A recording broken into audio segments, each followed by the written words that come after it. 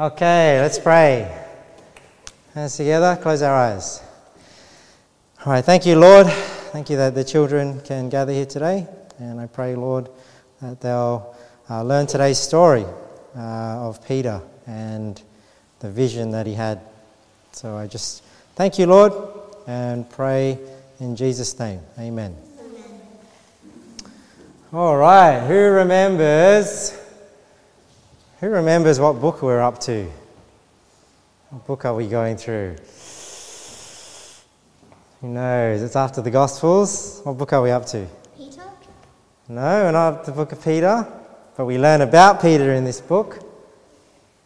It's after the Gospels Matthew, Mark, Luke, John. Try again. Acts. Acts. Very good. So we're going through Acts, and today we are learning about Peter's vision of the Gentiles. And Philippa has a bit of a game to go along with it as well. So the story starts with a man called Cornelius. Cornelius, and he's visited by this man who has uh, quite girly hair in this picture, long hair.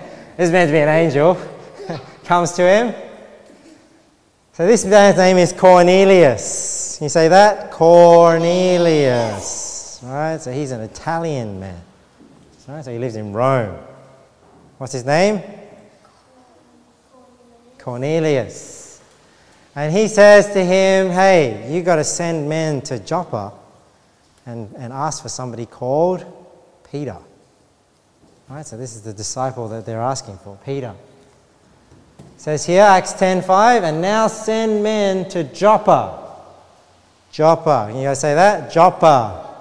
Joppa, and call for one, Simon, whose surname is Peter. So we know Peter the apostle, his full name is Simon Peter. And you know, that's who Simon's named after. Simon's named after Simon Peter, the apostle. So this is Simon's name, his surname is Peter. We know him more as Peter. So Cornelius gets two of the men in his household and a soldier. So how many is that? Sarah. Three. Three men. Sends them down to Joppa. Right? One, two, three. How many men? Three. How many? Put your hand up. Put your hand up, Atticus. Yes, Atticus? Three? Very good. Very good. Three men. So, this is where Cornelius is in Caesarea. And they go down to Joppa to look for. Who are they looking for? Taya. Simon Peter. Very good.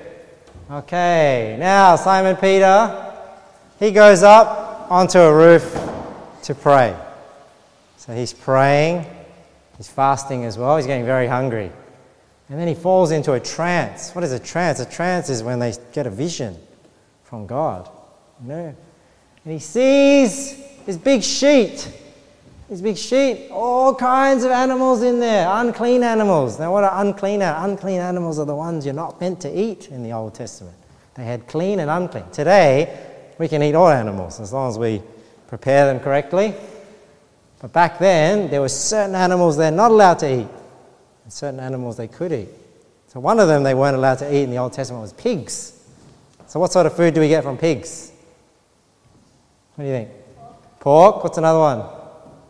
Bacon, bacon and ham, very good, that's it. You can make sausages, mince, all sorts of things from pork. Well, in the Old Testament, they weren't allowed to eat pigs. So there might have been a pig in here somewhere. Hey, look here, there's a pig. And they're in clean animals. So he sees this vision, this big sheet coming down, all these animals in there. What does God say to him? And it says, And there came a voice to him Rise, Peter, kill and eat. Right, so prepare them for eating. Well, what does Peter say? Peter says, No, I can't. I can't eat anything that's unclean. This is the Old Testament laws. Never anything that's unclean has come into my mouth. Hey guys, just take a seat. Just get a seat in there, boys. And this happens three times. So three times the sheet comes down. God says, Rise and eat. Peter says, No, no. Well, what is God trying to teach Peter here? God's trying to teach Peter that with the Jew, he was a Jew, and there were Gentiles, which were people that were not Jews. He's saying, hey, there's no difference. You know, don't call, you know, somebody who's not a Jew unclean that is that God has cleansed. So this is what God has said to him. So this is what Peter is trying to be taught here. God is teaching Peter, hey, you should not distinguish between people anymore. You know, they, they, God has cleansed them. We need to get the gospel to everybody, not just the Jews, but also to the Gentiles. Okay, so this is the vision that Peter has. Now, after he has this vision, what happens? Somebody comes up and calls Peter and says, Some men are calling for you to come to find you. Now, how many men were there? Timothy. Three of them. Three, one, two, and the soldier. And you know what? They say that Cornelius is asking to see Peter. They ask Peter to come back to Caesarea with him. So Peter's thinking, oh, I just had this vision of these animals. God's telling me, hey, these unclean animals, I shouldn't call them unclean. And now the Gentiles, these Gentile people from Italy, right, not from Israel, from, from Rome, come to ask for Peter, say, hey, we want to hear words from you. So Peter's starting to connect the dots. Got this vision from God, and now these people asking me to go see them. So he goes from, how do you say this? We'll say it together. Joppa to Caesarea. Caesarea. Now Peter is going with the three men back to Caesarea. When he gets there, Cornelius is happy to see him. Cornelius bows down and worships Peter. Now, should Peter, Peter doesn't accept that, don't bow down to any man, right, and worship them. Peter says, No, hey, stand up. I'm just a man. Don't worship me. And when he comes here, he sees there are a lot of people gathered here. See? To listen to the words that he speaks. And look at what he says here in Acts 10. He says, God hath showed me that I should not call any man common or unclean. Right, so he realizes, see, he's, he's calling some people clean, some people unclean. So, what was God trying to teach him with the animals? Hey, there's no clean or unclean anymore, right? The gospel is for everybody. So, Cornelius tells him, Why have I got you here? Because Cornelius, remember, was approached by the angel and said, Send for Peter. Peter came to him.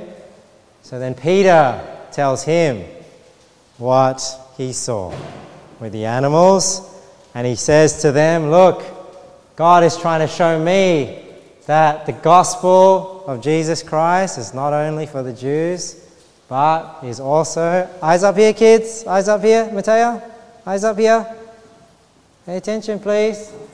It's for the Gentiles as well. And you know what? Remember what we learned about last week? What did we learn about last week? Israel, oh, you got to put your hand up. You want to say something? All right, Ryan, do you remember what we learned last week? The tongues, right? The gift of tongues. And you know what happened here? Peter, preaching the gospel to all these, he tells them that Jesus died and rose again from them. And you know what happened? They started speaking with the gift of tongues, speaking in different languages. And that's when Peter realizes the gospel and the Holy Spirit is not only for the Jews, but it's also for the Gentiles. So Peter says here, to him, that's Jesus, to him give all the prophets witness that through his name whosoever believeth in him shall receive remission of sins. And that's when they start talking in different languages. And then he realizes the Holy Spirit is not only poured out on us, but also poured out on them. And then Peter says, hey, these people have to be baptized as well. All right, so what was the lesson? The gospel is for everybody, isn't it? Jesus Christ isn't only for the Jews, but also for the Gentiles, people that are not Jews. Everybody needs to believe on the Lord Jesus Christ. Okay, let's see if you were paying attention. Hey, no, no, swing your legs. Quietly, very good. Who remembers what was the name of the man from Rome that came and had the angel speak to him. Sarah. Cornelius, very good. And how many men did he send down to go see the disciple? Do you remember, Jordan? Three, very good. Ah, and then at the beginning, but you listening. It's good. Very good. And what was the disciples' name that they went to go see? Let's see. Atticus. Remember? Huh? Abel? You know? Who? Simon? Simon Peter. Simon Peter. There you go. Easy to remember. That's your name, isn't it?